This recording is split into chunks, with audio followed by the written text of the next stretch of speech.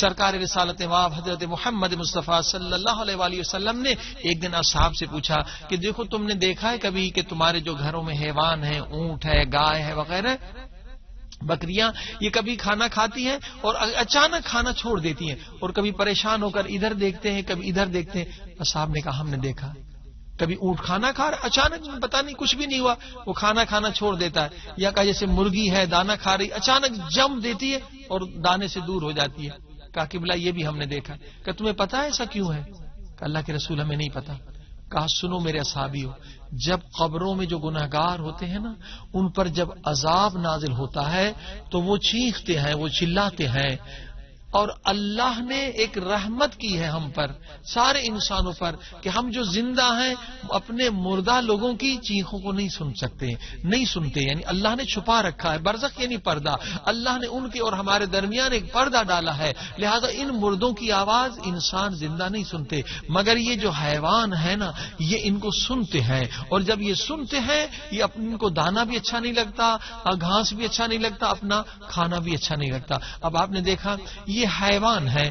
حیوان کو بھی اللہ نے یہ طاقت دی ہے کہ وہ عالم برزخ یعنی قبر کی زندگی کی کم سے کم آواز کو دیکھ سکتا ہے۔ ہم انسان اشرف المخلوقات ہیں، لہذا ہم اگر پرفیکشن حاصل کر لیں تو صرف آوازیں نہیں سنیں گے، بلکہ ہم دیکھ سکتے ہیں۔ لیکن اگر پرفیکشن ہم نے حاصل نہیں کی تو ہمارا درجہ انسانیت سے بھی کم یعنی حیوان تو سن سکتے ہیں۔ ہم حیوان سے بھی گئے گزرے ہیں۔ دیکھیے انسان اگر فطرت سے ہٹ جائے تو ایسا ہے۔ ایک اور زندہ مثال مثال دے دوں۔ دیکھیے جیسے آزاد کشمیر میں چند سال پہلے زلزلہ آیا تھا۔ کتنے لوگ مارے گئے تھے؟ لاکھوں تک لوگ پہنچ گئے۔ لیکن آپ کو پتا ہے کہ جب آزاد کشمیر میں زلزلہ آیا، ایک کتا بھی نہیں مرا، ایک بلی بھی نہیں مری۔ اب آپ سوچیں گے کیوں؟ یہ حیوانات ہیں، مگر اللہ انہیں ایک علم دیتا ہے زلزلہ آنے سے پہلے مرغی کو پتا چل جاتا ہے، بلی کو پتا چل جاتا ہے، کتے کو پتا چل جاتا ہے۔ یعنی ایک لاکھ لوگ مر گئے، مگر ایک بلی، ایک کتا جو ہے وہ آزاد کشمیر میں نہیں مرا۔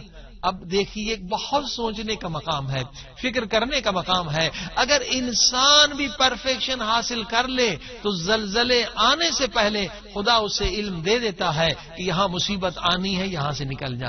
مگر کس کو؟ جو اولیاء خدا ہوتے ہیں، وہی حقیقی میں انسان ہوتے ہیں۔ نہ کہ ہم جیسے لوگ جو گناہ پہ گناہ کر رہے ہیں، اپنی فطرت کو تباہ کر چکے ہیں، فطرت سے ہٹ چکے ہیں۔ یہ سچا واقعہ بتاؤں کہ مثلا کوئٹہ میں جو بہت پہلے زلزلہ آیا تھا، تو وہاں پر ایک ایک عالم دین تھے، آغا پرہیزگار۔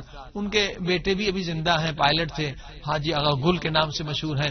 انہوں نے زلزلے آنے سے پہلے خواب میں دیکھا کہ یہاں سے آپ نکل جائیں، کوئٹہ سے نکل جائیں، یہاں آفت آنے والی ہے مصیبت آنے والی، اسی طرح سے اولیاء خدا کو پہلے علم ہوتا ہے۔ یہ جو ہم خواب دیکھتے ہیں نا، یہ خواب کو ہم بیکار نہ سمجھیں۔ اولیاء خدا کے خواب بیکار نہیں ہوتے۔ ہم جو گناہ گار ہیں، وہ زیادہ خواب، کھانا کھا لیتے تو الٹے سیدھے خواب دیکھتے ہیں۔ لیکن اولیاء خدا کو خدا خوابوں کے ذریعے سے علم دیتا ہے، آگاہی دیتا ہے، خطرے سے باخبر کر دیتا ہے۔ خواب کوئی معمولی چیز نہیں ہے، یہ اللہ کی نعمت ہے۔ اسے یوں سمجھیے، جو ہم جیسے غافل انسان جاگتے ہوئے نہیں جاگتے، تو سوتے ہوئے خدا انہیں جگاتا ہے۔ مگر سچے خواب وہ دیکھتے ہیں جو ہمیشہ سچ بولتے ہیں۔ ہم جو دن میں ہزار جھوٹ بولیں گے، کبھی ایسے لوگ سچا خواب نہیں دیکھیں گے۔ حتیٰ کہ کافر بھی اگر جھوٹ نہ بولے، تو وہ سچا خواب دیکھ سکتا ہے۔ لیکن مسلمان ہوتے بھی، مسلمان ہے، جتنی نماز پڑھے، لیکن اگر جھوٹ بولے گا نا، تو وہ سچے خواب نہیں دیکھے گا۔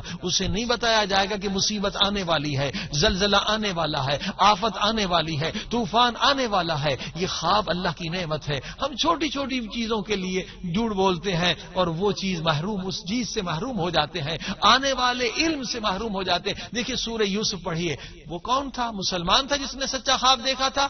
مصر کے بادشاہ نے سچا خواب دیکھا اور پیارے نبی حضرت یوسف نے تصدیق کی اور اس کی تعبیر کی، ایک بہت بڑی مصیبت آنے والی ہے۔ اللہ نے تجھے علم دیا ہے، آگاہ کیا ہے۔ مگر وہ اگر نبی نہ ہوتے تو وہ اسے بالکل بے خبر تھا کہ یہ خواب کیا ہے۔ لیکن کیوں؟ ایک خواب ایک سچا کافر نے دیکھا کہ بادشاہ نے جھوٹ نہیں بولا۔ کیونکہ جھوٹ وہ بولتا ہے جو لالچ ہو یا دنیاوی مفاد ہو۔ وہ بادشاہ کافر تھا مگر جھوٹ نہیں بولا تو سچا خواب دیکھا۔ اس خواب کو بھی آپ معمولی نہ سمجھیں۔ اولیاء خدا سچے خواب دیکھتے ہیں اور اللہ انہیں آنے والے خطرات سے آگاہ کرتا ہے۔ لیکن انسان جب اپنی فطرت کو مار دے یا بیمار کر دے تو یہ آنے والے خطرات سے انسان محروم ہو جاتا ہے۔ یعنی بلی تو زلزلے سے بچ جاتی ہے، نمازی مر جاتا ہے۔ روزے دار مر جاتا ہے۔ کیوں؟ اس لیے کہ یہ ہنڈریڈ پرسینٹ اس نے نماز کے ذریعے سے پرفیکشن حاصل نہیں کیا۔ نماز کا مقصد یہ ہے وہ ابد رب کا یا